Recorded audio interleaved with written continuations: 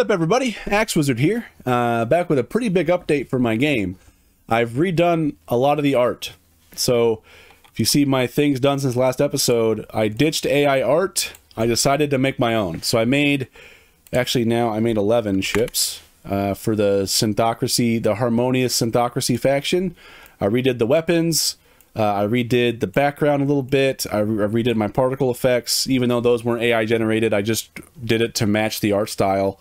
And I also redid the uh, title screen, which is just temporary. It's just a screenshot of the uh, game now until I get something working for the real one. And then I also set up version control, which I'm gonna I'm gonna do a whole separate video on that at some point. So I actually have all of my code on GitHub now all of my assets and everything. So, uh, yeah, that's so now if my computer burns down, um, I won't lose the uh, game. So that's cool.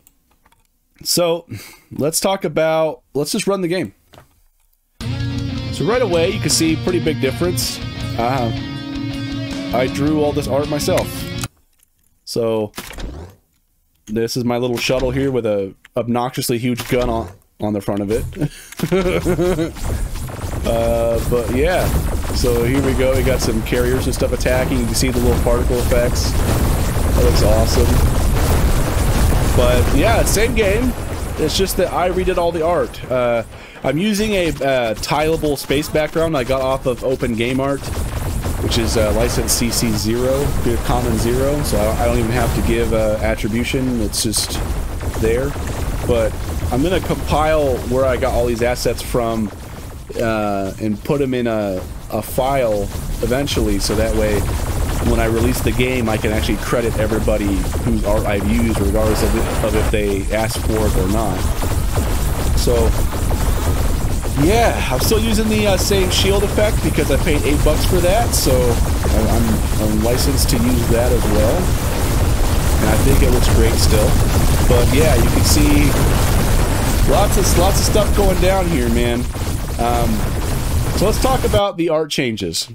So I've been generating art, and this these are one of the earliest ships that I I rigged up.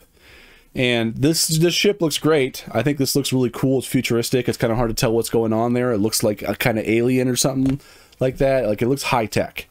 But I don't know where this art came from because it was generated uh, using Midjourney. I'm willing to bet that the artist probably doesn't want their work being butchered like this. so what I've decided to do is I've decided to stop using AI generated art, even though it would fit the the theme of this game, which is set in the future where AI is taken over and humanity is on the brink of collapse. Um, I don't want to be part of the problem, you know. So I'm making that change. So I was looking at my what are my what were my options. So I could do the art myself, which I'm not a very good artist. Um, I could hire somebody to do it, which could be pretty pricey. So I started I started looking on Fiverr to see what artists were, and the artists whose uh, who uh, whose artwork I liked. Um, I didn't really feel, feel I didn't really want to pay twenty to sixty dollars per piece of art, you know. So, you know, for for a bunch of ships, like for this faction alone, I've already got like 11 or 12 ships planned out. That's uh that's a lot of money. So, you know, that's uh that's like 600 bucks for 12 ships or whatever. Uh I don't want to drop that kind of money cuz I'm not I'm not I'm not making this game because I'm a business. I'm making this game for fun. And even though, uh, yes, I do plan to monetize this game when when it, when it's released. I'm not going to do any microtransactions. Don't worry. I'll get into monet, uh, monetization when uh, it gets a lot closer to to creation. But um, yeah, I don't I don't expect to make money off of this. I don't expect to be able to like, oh yeah, I'm a game studio, Axe Wizard Games, baby. I have no expectation of that. I just want to make a game and put it out there in the world and I want to make a game that I enjoy, and if other, if other people enjoy it too, awesome. So couldn't really hire somebody because that would uh, that would burn a lot of the limited disposable income I have currently. So that, that's not an option. I could do it myself, which is what you see here. um, so I, I, I did that. So let me walk you through the process of how I started on this. So the I was trying to decide. So so after I decided I was going to do the art myself, I was looking around trying to figure out what style I should do um, to make it look actually interesting and appealing. And one of my probably one of my all-time favorite styles I've I've ever seen is Darkest Dungeon. So like I absolutely love the art style to this game, how it's just super dark and brooding and um yeah, like this. So let's open this image in a new tab. So like this just looks really cool to me. Like this looks awesome. I love this style. And it seems to me like the style really tends to focus on really heavy, thick brush strokes. So I was like, okay, I could probably do that. But I'm not sure how to really get like, you know, the uh the the finer details in there. So I was talking with with one of my best buddies who goes by Necrobomicon on the internet, and he gave me some great advice. He says, "Look, you could probably just do like the a black and white, uh, you know, hand drawn image, and then, you know, you could take out uh, all the uh, all the the background, and what you can do is you can use like metal textures to to give it this sort of texture, and you can color it um, with these metal textures, and that would give you." Uh, a pretty good start on this. So I was like, okay, yeah, that, that makes a lot of sense. So he set me up with a program called Krita, which is a free program. Like you don't have to buy it at all. And apparently it's rivals, like it rivals Photoshop.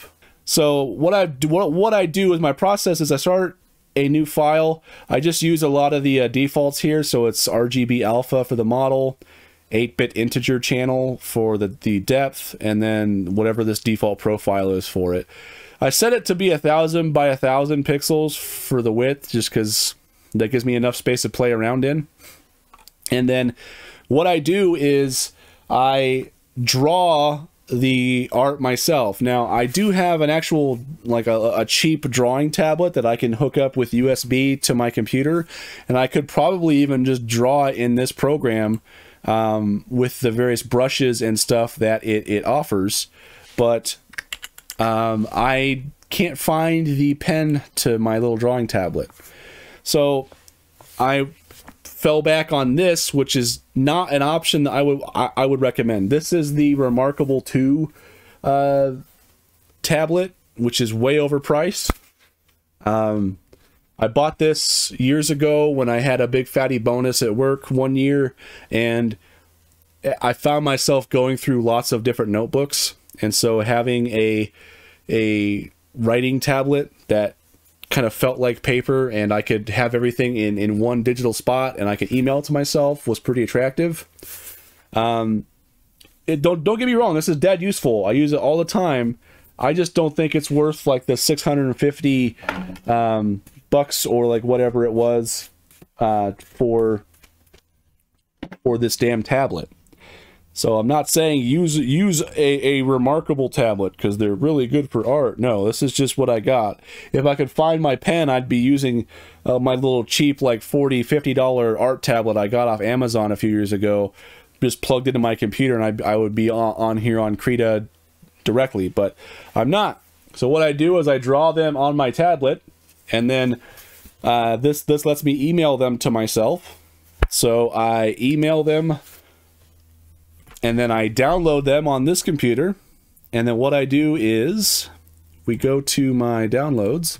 Yeah, so you can see I've got one here that I I drew of, you know, some uh, asteroids that I was going to add in the game. I also was messing around with some particle effects. So this one here is the one I actually used to replace my uh, particle effects in the game. And I drew these ships. I, have already done this one. I'm not too happy with how it looks in the game. So um, I think I've done this one, but I'm going to walk you through. I'm going to redo it because it, it's kind of crooked. So what I do is I screenshot it. And then I save it. And there's probably a, a way wi within Krita where I can remove the uh, background. I just don't know how to do it yet. So I've just been using good old remove.bg, which is a website where you can go to remove backgrounds for stuff.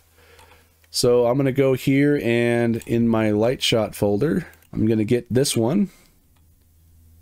Remove the background. There we go. Download. And then once I've got that, I'm going to go back into Krita.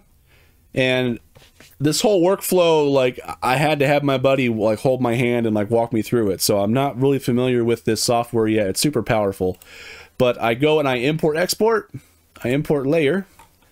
And i'm going to bring this ship in as well as some of these other metal textures that I've got. Now, a lot of these textures I've gotten off of like Open Game Art. Um, uh, almost all these are CC0. Um, some of these I just got off like the internet. Like uh, there was like this texture website that you can just download them and use them. So I was like, okay, cool. Uh, so I'm going to use this one. This one's pretty good. I, I, like this one. I like this one, and this one's good too. So I'm going to use these. These are these these are the ones I've primarily been using for all my Synthocracy ships. So I can get like other textures and stuff. So I think that my uh, when I get to my my human faction, they're going to have a lot more beat down ships, so they're going to have like a lot more rusted uh, looks. So I'm I'm gearing up for that. So I load all those in, and oh, I I I, I forgot to load in my uh, my actual ship, and we're going to load that in as a layer as well. There we go. So we we've got this in here now the first thing I'm going to do is I'm going to try to, I'm going to use this uh, transform tool and I'm going to see if I can't rotate this uh, a little bit so that way it's straighter. Uh, that kind of looks straight to me. The the wings like look like they're they're still tilted, but the the the ship itself looks straight. So I'm gonna go with that. That looks fine to me. And so now what, what I'm going to do is I'm going to do this to the other layers. I'm going to take this layer, I'm going to select it. I'm actually going to uh, move this. Uh, let me move it. Here we go. I'm going to hold shift. That way it's straight. There we go. And to make sure it covers the whole thing, I'm going to hold shift. That way it keeps it uh, the same aspect ratio. There we go. So that covers up the, the, the whole thing. So I'm going to go do that with all these uh, textures here. So this one, I'm going to rotate again.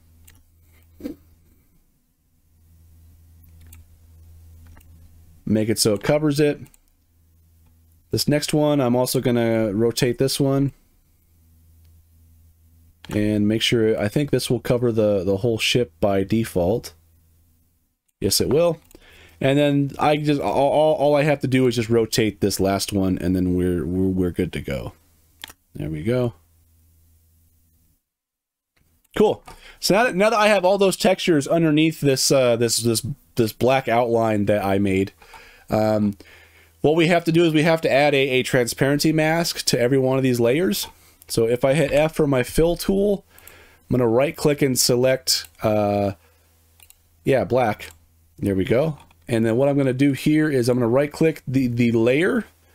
I'm going to add transparency mask, which is going to create this uh, sub layer. I'm going to dye that black, which uh, hides it. So black means it's transparent, white means it's not transparent. So I'm going to I'm going to add this transparency mask for every layer. Add transparency mask, boom. Add and add. There we go. So now I'm, I'm going to hit B for brush. I'm just using the uh, the basic the, the the basic one brush in Krita. If you try to use a a, a fancier brush, it, it, it, won't work with the uh, transparency mask. So I'm going to switch back to white. And then now what we do is we just zoom in and say, for example, if I want to use this uh, this texture here, which I which I use for all of my my like cockpit windows and stuff like that, um, I can just go here and I can just color, and it becomes like I it, it becomes like a digital coloring book, except instead of crayons, you're using these textures.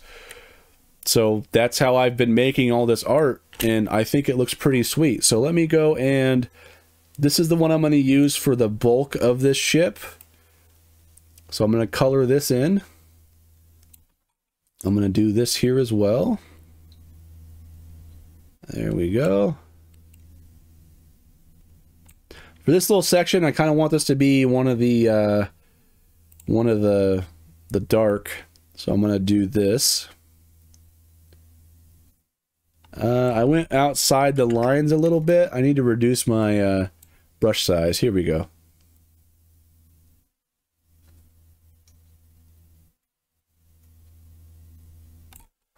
There we go. And then I'm going to go back to, so I'm, I'm making sure that I'm on the uh, uh, transparency mask. Because if I'm not on the, the transparency mask, I'm just modifying the actual image, which is not what we want. We want to modify the, the transparency mask. So did that. Let's crank this up a little bit. We can make this one also that same metal, uh, which should, I'll get that in a second. Da -da. I guess I can get that here. It doesn't matter. This is going to be the same color anyway. Okay. And then what, what we can do is... Hmm... I'm thinking that this would be cool to also do this and uh, around the uh, cockpit area.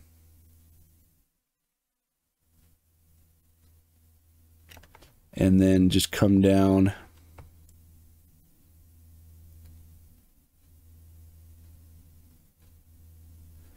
There we go. So I think that looks pretty good. And then let's uh, Let's also do... Hmm. Let's do this as the same color too. There we go. And then let's do let's do this texture here for this. And what I was also thinking is I could do it down here for this part. Which gives it like a slightly different look. So kind of cool. And I don't think that that looks too too startling to have this be be different. So I like that. I also like the idea of having these corner edges here be that same texture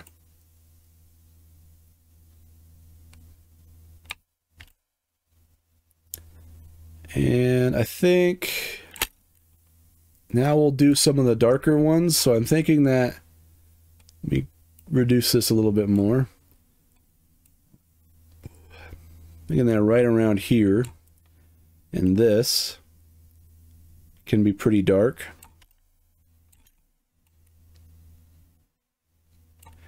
And then I'm going to have this be the really dark texture.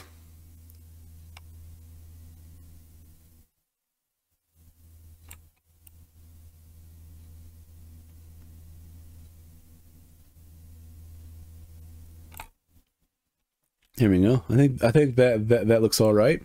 And then let's go back to the basic one for these thrusters.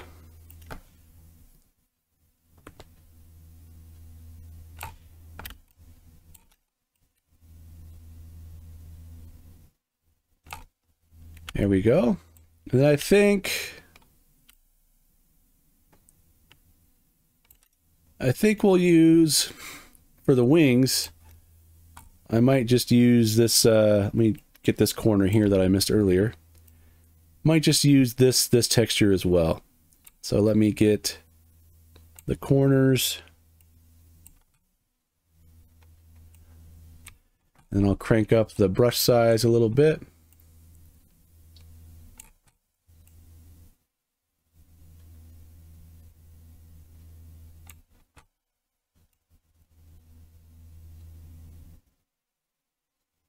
Yeah, I think this looks pretty good. And there you go. We basically colored a uh, a ship. And I think it looks okay. I need to do it for here too. Oops, that's that's out of bounds.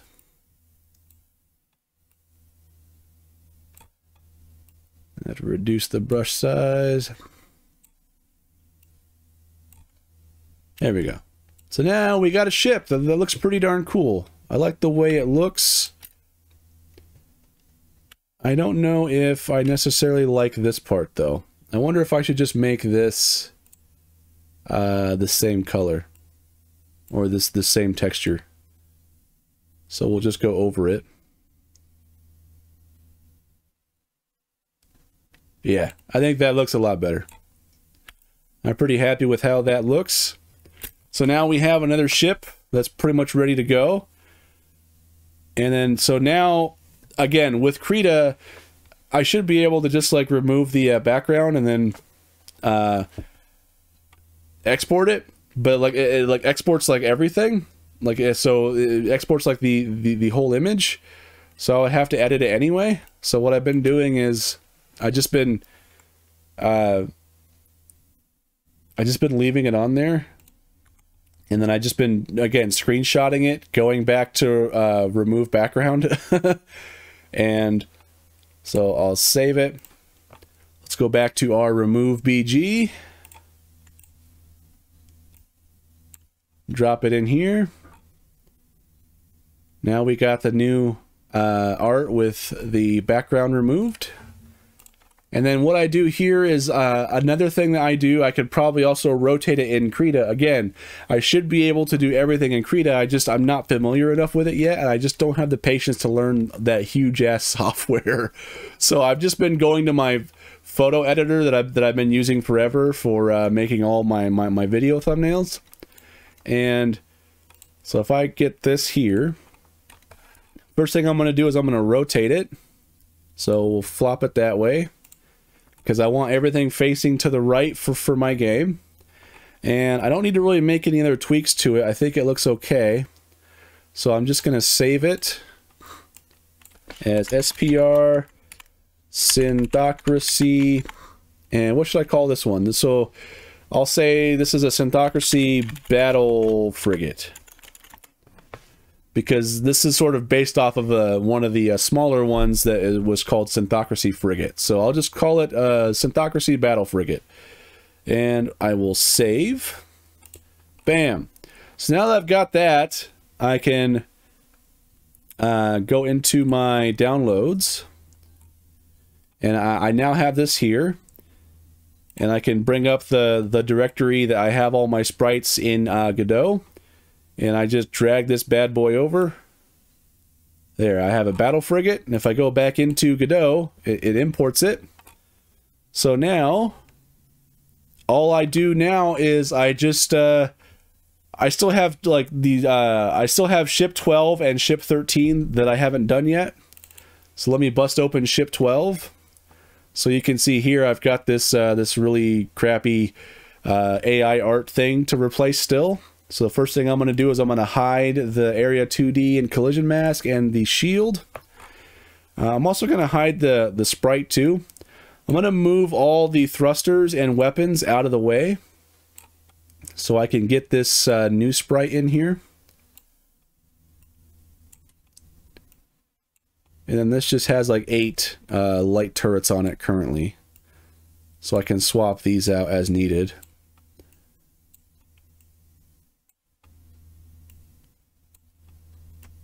Okay, now that I have those out of the way, I just go back to this sprite, and then for the texture, I just go into my sprites here. So I have Battle Frigate. Look at this Chad, heck yeah. I just drag this bad boy over the texture property. There we go. So now, I'm going to start tweaking things. So I think these thrusters uh, just go right there. That should fit fine. I think I might... I'm going to put this little thruster here. And I might duplicate this. So left rear thruster 1.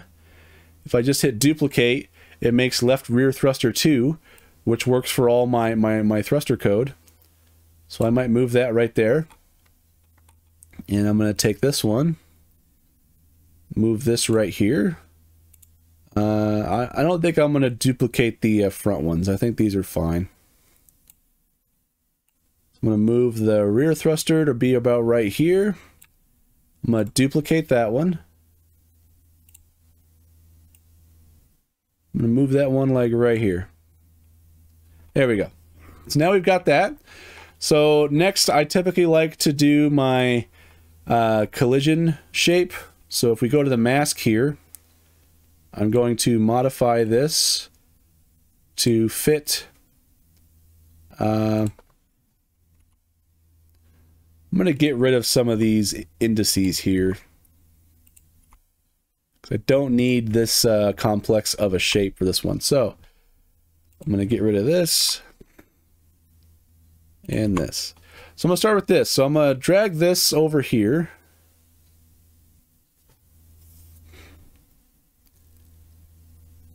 Yeah, I'll, I'll, I'll do this here. So drag this here, drag this here.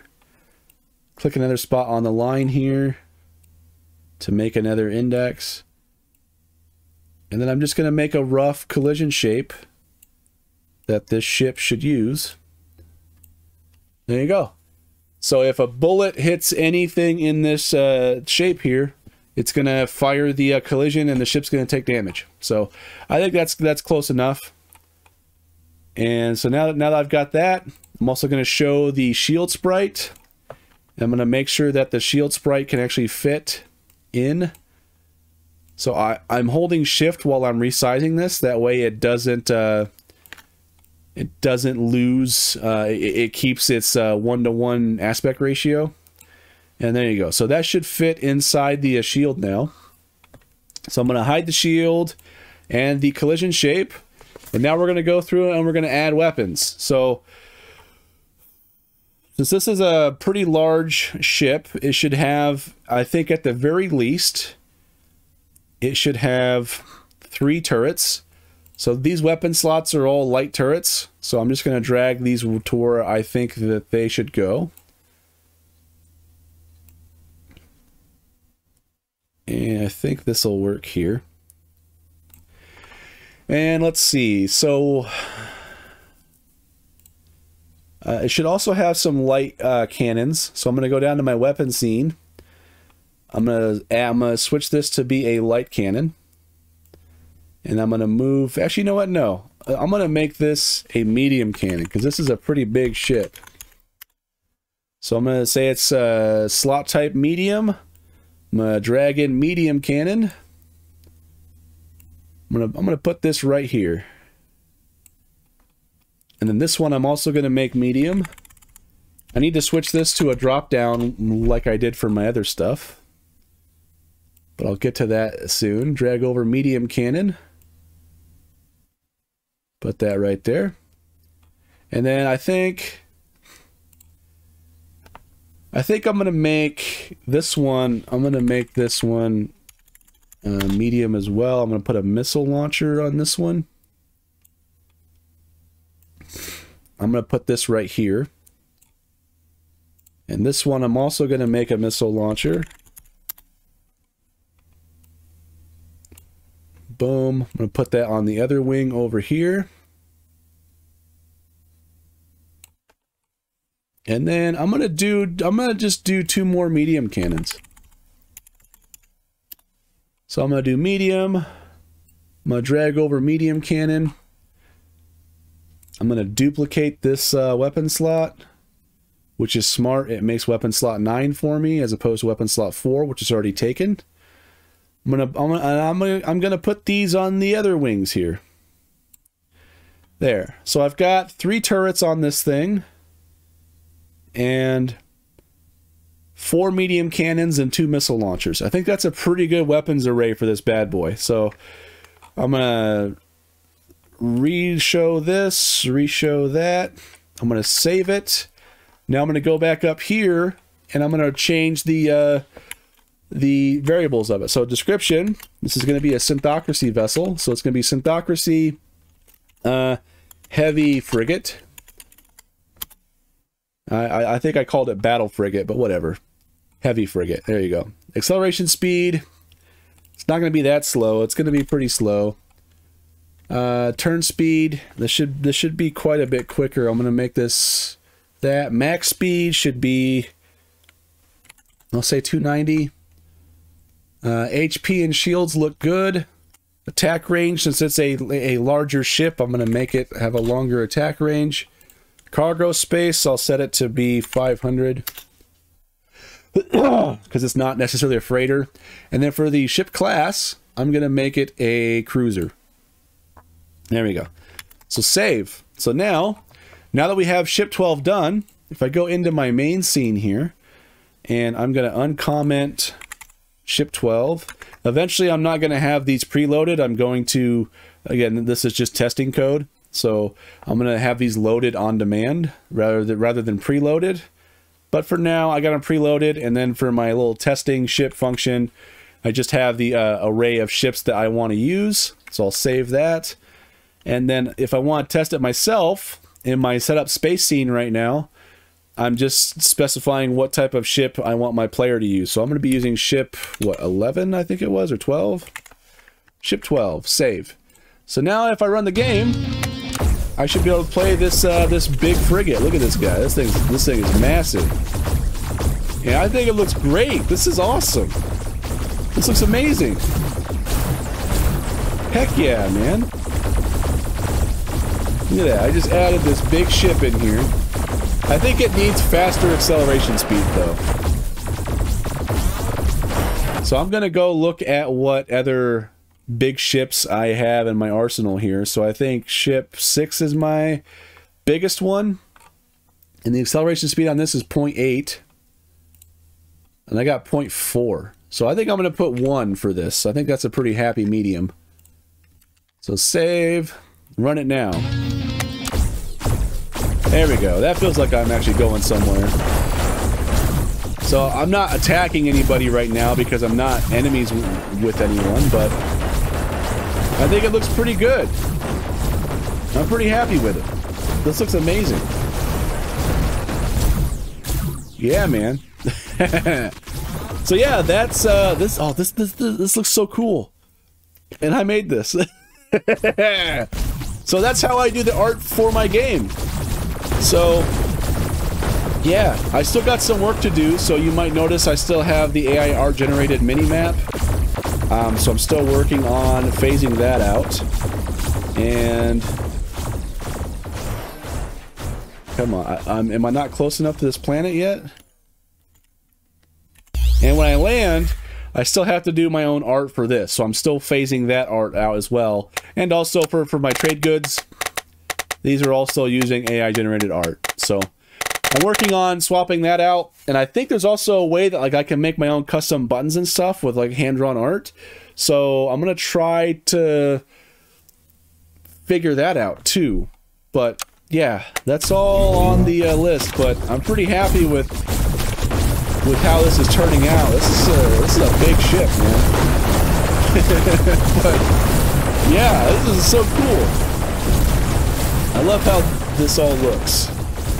This looks so cool. You know, I'm gonna not not the moon. I'm gonna attack this guy. Yeah, what? You want a piece of me? Guess what? I'm you up. You can't. You can't handle my power. Oh crap! I'm dying. no, I'm, I was kidding. I'm sorry. You got so many more missiles than I do. I'm out. Later, dork. oh, he's still shooting me. Oh, I died. but yeah, so that's uh, that's my workflow for making art right now, and I think it. I should be able to do everything in Krita. I just need to get more practice at it. Um, but yeah, I I think it looks pretty good, and I like the art style. I like uh, it. It doesn't look exactly like Darkest Dungeon, um, but I think it looks pretty darn good though. Like this looks pretty awesome. I think this is a uh, because it's got like all this these textures just just it's kind of like stained glass uh in a way except spaceships i think that's super cool so that's my current process i have to um, i've got mini uh, mini map markers and stuff drawn out so i have to swap out those markers and then i have to figure out what i'm going to do for the actual you know sphere thing. So I got to figure that out. But uh, yeah, I am loving this. This is super cool. But anyway, thank you so much for watching. Let me know what you think. And if you have any art tips uh, to improve this workflow, I would be glad to hear it. And I'm also not sure how I'm going to handle um, like scenes and stuff like that. So what I mean, like uh, when I when I land, it shows that image that's supposed to represent like the location you're at. So I have to figure out how to draw like these uh, artwork for Earth and uh, stuff like that. So I gotta figure out what I'm gonna do for that. I think I might just look at some artwork for inspiration, or maybe even um, AI art generate some stuff, and then just kind of try to recreate it with uh, my art style and see if that'll work. I don't know. I'm gonna be looking for some more textures and stuff too, because when I I need to figure out how to color the uh, textures better as well. So when I start on other factions, um, they're not all going to be this silvery metal uh, like the uh, Synthocracy. They're uh, they're going to be different. So especially like for my alien races, those are going to be very different. So I gotta I gotta figure those out. But anyway, thank you so much for watching. I appreciate it, and uh, I will have a version control video coming out as a separate non-devlog video, more of a guide to set it up for Godot because it's not as streamlined as I thought it would be. And after looking at the process seems pretty similar for, for Godot 4. So I'm going to make a video on setting that up. So look forward to that. Thank you so much for watching.